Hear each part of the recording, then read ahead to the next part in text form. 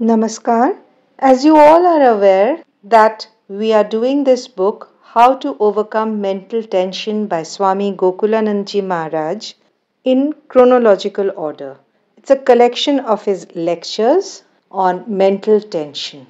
Today we start the fifth chapter Worldview in relation to mental states. Here he is giving us the nature of fate and how each individual perceives it. Maharaj says people who are vulnerable to the feelings of hopelessness often have a mechanistic view of the world. They feel that they cannot avoid the nature of fate and destiny, which have their own inevitable course. There is nothing that can be done by them because they suffer with the feeling of hopelessness. They are under the impression that good things in life are rare, and when they do come, it is only through extreme hard work. For ordinary or mediocre people, there is no hope of any good. They doubt their ability, which serves as a block, preventing them from finding outlets for their emotions. There are different phases of hopelessness. According to LeShan, the early experiences, beliefs, and thought patterns of some individuals are responsible for the development of the first phase of hopelessness. Then, there is a second phase where a person accepts whatever is given and tries to fulfill his duties without innovation and ingenuity. The third phase is where a meaningful relationship or a satisfying job is suddenly terminated and the person becomes a victim of hopelessness. For instance, a person had an important position in a particular field. Suddenly, he is transferred to another field. To begin with, he is able to find satisfaction in his new assignment, but sooner or later, he may think that he is not getting adequate satisfaction out of the new job he has been given. This results gradually in utter despair. In the categorization of LeShan, these people belong to the third phase of hopelessness. They hold a totally negative view of themselves and the world. They have the following beliefs 1. Objects and people outside of themselves cannot bring any help. 2. There is no possibility of development or change. They firmly believe that things will remain bad for them and there is no more bright prospects for them. 3. They think that even if they are given some other work, it also will not relieve them of their loneliness. Interestingly, though these individuals suffer from acute hopelessness, they continue to function.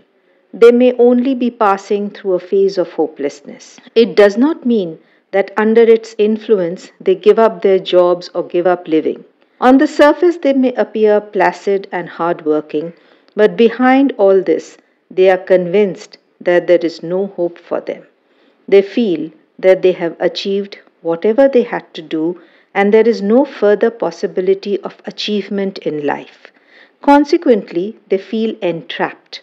In the words of LeShan, there are cases when this feeling of hopelessness sometimes leads to fatal diseases like cancer.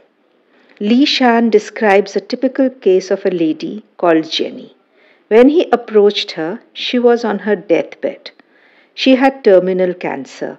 When he asked her about her experiences and how she developed cancer, she said in a quiet voice, Well, I'm not surprised at it because from the beginning I had a feeling that there was no hope for me and I would never have real happiness in life. This illustrates how, from the very beginning, Jenny adopted a negative attitude and made herself a victim of the fatal disease. Some of the typical experiences which induce hopelessness are the death of a spouse or a family member, loss of a high position or power, a threat, or such other causes. If these adverse conditions come up in the life of a person who has all along lived an integrated life, a deeply spiritual life, and always cultivated some fundamental positive virtues, such a person will not have this kind of negative thinking. But those who lack this dimension in life are always heard grumbling, Oh, why did God destine this for me? I'm going to die. There is no hope. What will happen to my family after me? I wish God would take me quickly. I cannot bear this suffering any. Why is He not taking me to His abode? And such others. Hope you can relate to some of these and understand what Maharaj is trying to say. In the next part of this lecture, Maharaj is going to give us a few more reasons and the way people feel hopeless. After that, he's going to bring to us as to how we can overcome these problems. Stay tuned to Devakshar, share and like the videos, and do subscribe to our channel. Thank you for being with us.